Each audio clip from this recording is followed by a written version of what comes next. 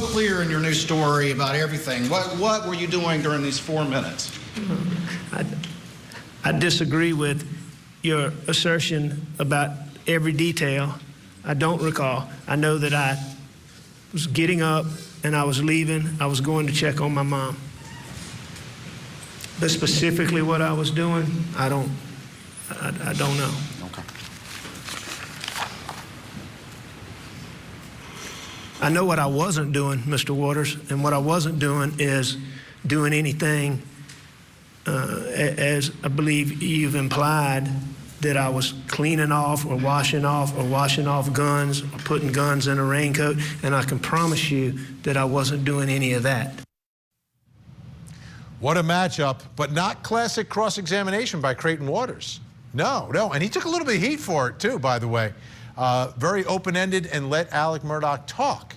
And what we found out as Chanley Painter sat down with Creighton Waters is that all of this was done on purpose.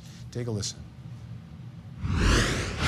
The crosses I went in was going to be different from a traditional cross. And I think if you tried to do this like a traditional cross, it would not have gone as well. I also knew that starting out, I was going to be cut off by the evening recess, and I was essentially going to have to start from scratch because it's a you know it's a process as you want to have that conversation. You do want to make it uh, have him answer difficult questions over a long period of time. So I also had to get to a stopping place and not sort of cross over into new territory because I knew I was going to be starting over. But the main point was to get him talking. I knew I've been uh, investigating and studying this man for a long time. I've had experience with people like him who are confident in their ability to come into a room and talk their way out of any trouble to dominate that room. And I, I was always confident he would testify because I didn't think he could resist that temptation, nor would he, uh, you know, have any lack of faith in his ability to do so. And so the idea was to get him talking. I mean, there were there were pauses that were intentional because he couldn't help himself. He'd start talking again, and then, oh, there's something new we could talk about. Uh, and you know, you saw him sort of uh, the wheels turning, and I knew if I did it long enough, there was going to be new lies that he told along the way, and that's really what I wanted the jury to see because he had looked them in the eyes and been so compelling uh, as the trial lawyer that he was. Um, but then I wanted them to see that he could do it to them just as easily as he'd done it to everybody else, uh, look them in the eye and, and be very convincing, but also to watch him lie in, in real time. Fascinating approach. Some some would say a little risky, but uh, it worked. It absolutely worked. Uh, let's bring back in Eric Bland and Matt Harris with us. Eric, uh, he did take a little bit of heat, right, from some of the talking heads and people saying, "Hey, what are you doing on cross?" Alec Murdaugh is controlling the courtroom. Uh, but all this was done on purpose by him. Yeah, they don't teach this in trial advocacy. In trial advocacy, we're taught pick your five best subjects, hit them, get them to admit it, and then sit down. You know, both sides violated that uh, brevity rule in cross examination and did two, three hour cross examinations, which are just not favored. They're, you know, you could get yourself in real trouble. You can, uh, gain ground, but then up then end end up losing ground. Um, but he took a risk and he wanted to get Alex to talk, and he felt that the more Alex talked, the more Alex, the true Alex, would come out. And I thought we saw the true Alex on Friday. We saw the actor Alex on Thursday, but the true Alex, the liar, the the manipulator came out when when they started getting really tight on those murder questions and the timeline. And he changed his story on when he touched Maggie and Paul from before 911 to after 911. So I think Alex got comfortable on the witness stand um, and got too comfortable that when it got uncomfortable, he showed being uncomfortable. Matt, what do you think of the dynamic between Creighton Waters and Alec Murdaugh in this lengthy cross examination? Well, a, a, few things. One is Creighton was great at giving that pause. There was many times Alec stopped. You know, it would have been like a logical place to not keep talking, and then Creighton would pause, and then goes Alex some more. Uh, it's like he has to know, fill the. It's like he's a guest on a show where he's got to fill fill the blank space, yeah. or you're you're you're you're doing a podcast and you hit a point and someone's like, "Well, I better talk," and and Alec yeah. would take the bait. Yeah, he'd say like, "Yesterday was Tuesday, right?" Be like, "Yes, it was Tuesday." Creighton would pause to go, And you know what I did on Tuesday? you know, it, it was it, we just and we we've talked about this with you, Vinny. I've talked with you about Alec cannot control himself as far as control what he believes is controlling the narrative. It doesn't matter if it goes way back to which Eric will, I'm sure, agree with this. Back to this the Satterfield case where Alec was running around talking about the dogs right out of the gate, controlling the narrative, the boating accident, the uh, the, the crime scene this night, uh, any number of situations. He can't help himself. You see him in the police car or the law enforcement car is talking. He can't help himself. He will talk. He just like vomits up words. Even his attorneys are around him, and we're like, why don't they stop him? I don't think they can. It's just bleh, bleh, words, words. You know what he should have done? Instead of annihilating his family, he should have just started a podcast with all this. with this. Yeah, Eric and I- Thank you, Baffled. Vinny. Thank you for that. Matt and I don't appreciate that. No, Matt, I'm we don't appreciate that. No, no. I have a podcast too, by the way. In fact, the latest episode of the Court TV podcast drops tonight at midnight. It's a good one. Chanley Painter joins me for the conclusion of the Murdaugh family murders. And, and they don't believe me? Here's a preview. This case for this prosecutor, Creighton Waters and his team, was built almost, almost exclusively on the words of Alec Murdaugh. Things that he has said since June 7th, and some things that he said before June 7th, but things that he said were the case. Mm-hmm. Am I am I off base here, Chad? No, I completely agree with you, and people I've spoken to agree. The big lie, he had laid out this story. He was not at the kennel. He was not at the kennel. He was not at the kennels. And suddenly he was at the kennels. There's video proof of that because it seems to be a consensus that was the strongest piece of evidence for prosecutors and even jurors have cited that who've spoken since the verdict. All right, download that podcast, and you download Impact of Influence and Cup of Justice, and you are you are you are set. That's all you need in the world of podcasting. All right, coming up next hour. On the docket tonight in Palm Beach County, Florida, the killer clown trial. Sheila Keen Warren accused of dressing up like a clown, killing Marlene Warren, then marrying her husband.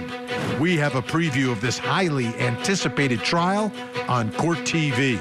I just have to keep going, you know, keep going. I want the truth and, you know, uh, an end to this tragic thing. There was pounding on the door. Bang, bang, bang. He said that we'd seen his face and there was no way that he could ever let us go. I survived because I'm a born fighter. I Survived tonight, 10, 9 Central on Court TV. Murder on Music Row. Who's going to expose this chart fixing scheme? The death that sent shockwaves through Nashville. He did not want to be part of it. Someone They Knew with Cameron Hall. All new episode tomorrow, 7, 6 Central.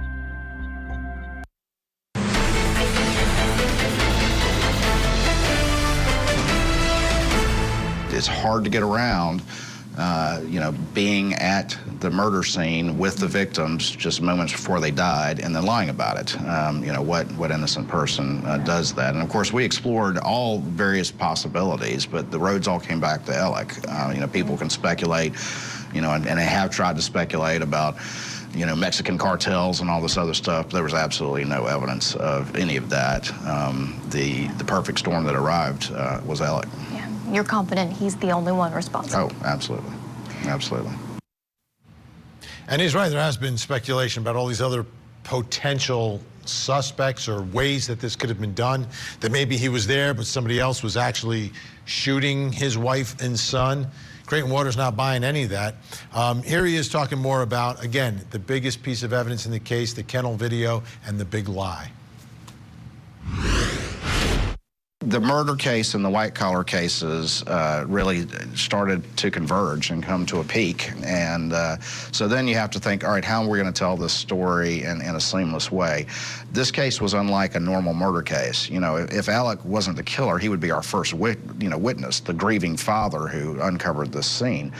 Uh, but it was important for me to start out of the gate and play his voice, play that 911 call, play that Daniel Greene body cam, play those uh, interviews for the jury. I wanted them to learn his voice. because they were going to hear the kennel video and it was going to be undeniable.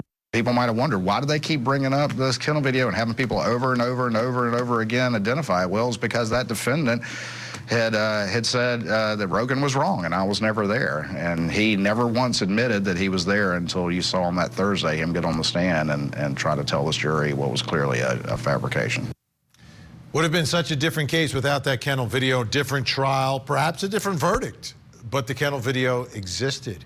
Let's bring back in Eric Bland, Matt Harris. Um, here's the question I have for both of you from your perspectives. Before, uh, before that kennel video is is is uncovered, um, what was the talk down there? What what were people saying about this case? What were they saying about Alec and his potential uh, alibi and where he was that night before that kennel video? I'll start with you, Matt. Well, I, I think everything turned for sure against Alec after the Labor Day assisted suicide, whatever you want to call it.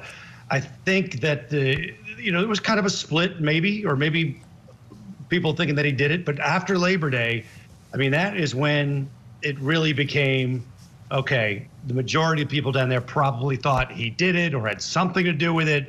He wasn't the Alec Murdaugh, maybe they thought he was, because that's when the really the stuff started pouring out. And Eric did his great job with the Satterfields. All that stuff happened post the you know whatever that was on Labor Day weekend with cousin Eddie.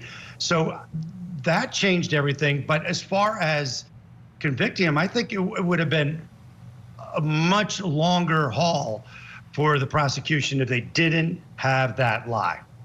Yeah. What are your thoughts, uh, Eric? I don't think they would ever charge them without that video. Um, Jim Griffin was um, steadfast in saying he was not there. He said it in a number of different forums, you know, HBO, he said it on a news program. It was, um, you know, there was a lot of frustration on the population in South Carolina. What, what, why are you dragging? What is so slow? And obviously they were waiting to crack that phone from Paul, and it turned out it was uh, his birthday. They tried to toggle it and they couldn't get it. They couldn't get it. And then, you know, two months later, they bring the murder charges in June of 2022. I, if they can't place him at that murder scene, um, I don't know if they would have brought the charges because there was really no scientific evidence matching him there. Yeah, that is so true. And by the way, so he admits that he was there on the trial in his testimony, but uh, Matt, if if there's no video, he never would have admitted it. And if he got on the stand, he would have lied about it. I mean that. Well, he I wouldn't think have we got all on the know. stand. We all know that, right? He wouldn't have gotten. on he the would have got on the stand. He just would not have got on the stand. There was no reason to get on the stand if he wasn't trying to defend the lie. So he would never would have been on the stand. And one of the big parts of how they got it through the grand jury was the blood spatter on the shirt, which we then learned they didn't even use in their uh, you know prosecution because whatever many reasons why it didn't work out. But if you threw that out, there, there's there's nothing, uh, nothing at all except for you know he was an obvious suspect. Obvious, very obvious suspect, but uh, you know you have to prove it in a court. Things just change once you get inside that courtroom, and there's the standard of proof, and everyone's looking at it like this, and that's the way the system has to work. Um, we have how much time do we have? We have about a minute left here. Um, so just give me your final thoughts in, in about 20 seconds or so, and I'll start with you, Eric, about what we all experienced down in South Carolina. What did we experience? Well, I think we're all processing it. It's kind of like what the Marines do an after action plan, figuring out what went right, what went wrong. You know, I'm I'm still a little numb, but trying to figure out what the landscape's are going to look like going forward. And you're right, Alex isn't going to see uh, the light of day for a long, long time, if ever. Um, I think they're boxing him in. They're putting a foot on his throat. They're going to schedule Satterfield, and they're going to follow it up with two other easily provable uh, financial crime cases, and then they're going to get him LWOPed. And then they're going to make it. The Fed's got to make a decision. Matt, you have about 15 seconds to wrap this all up for us. Uh, I think we learned a lot about the law. If everybody's following court TV and doing this, you learned a lot about the law. You learned about how the defense works, how the prosecution works, and uh, I think it was a great lesson. Thank you, Vinny and Chanley, for all that, and Eric too. All right, guys. You too. man. Appreciate your time. Eric Bland, Cup of Justice podcast. Download it after the show, and then download Murdaugh Family Murders Impact of Influence. We'll be right back.